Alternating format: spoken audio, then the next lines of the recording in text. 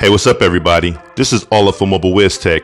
Now, if you own one of these guys, which is the SwitchMate by Simply Smart Home, you're probably more than aware of that it had issues working with your Google Assistant. At one time, it was working really well. Then Simply Smart Home broke it, and then they released a patch to make it work again. Then they broke it again. So it was going back and forth, which caused a lot of frustrations. Well, that's why I made this video for because there is a fix for it so just stay tuned. Right after this, I'll get right into it.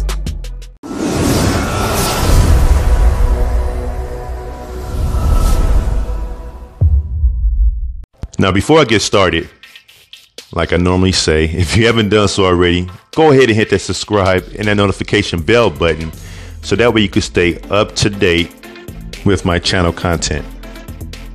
So if this is your first time setting up your SwitchMate and you're just trying to figure out how to do so, I won't spend time doing that in this video. For this video is just pertaining to the fix. However, I do have a video that you can watch right here and it will walk you through on how to set up your SwitchMate with your phone.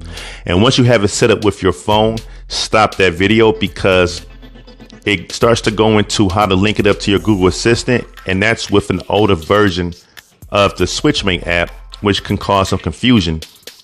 So once you have it set up, you can stop that video and then you can watch this video and it has a more updated interface for the updated version of the app. So you can go ahead and continue watching that video and it will show you how to link it up to your Google Assistant.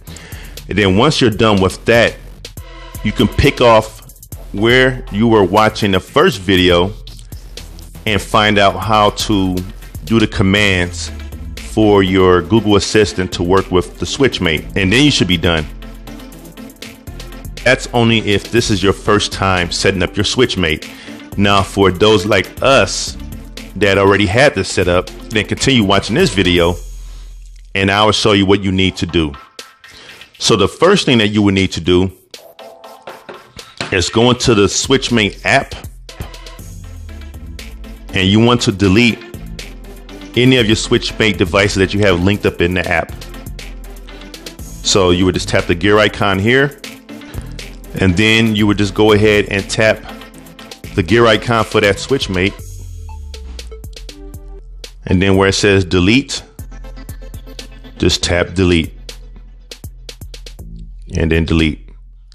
And do the same thing for your other SwitchMate device that you have linked up in the phone or in the app, should I say.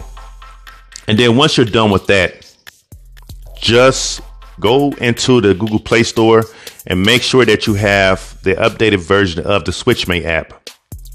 And if you don't update it, and once you do have it, you're going to go here and you're going to clear the cache for your SwitchMate app. You're going to force stop it first. So do a force stop.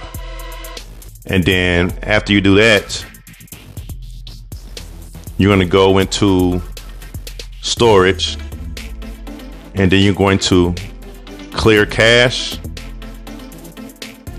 and you're going to clear data. And once you do that,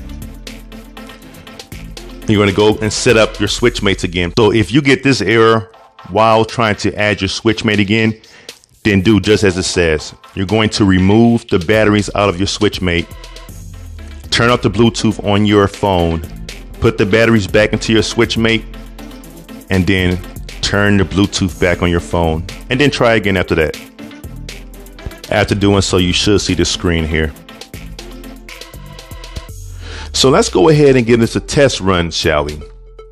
Hey, SwitchMate. Let's get SwitchMate. Hi, this is SwitchMate. How can I help you?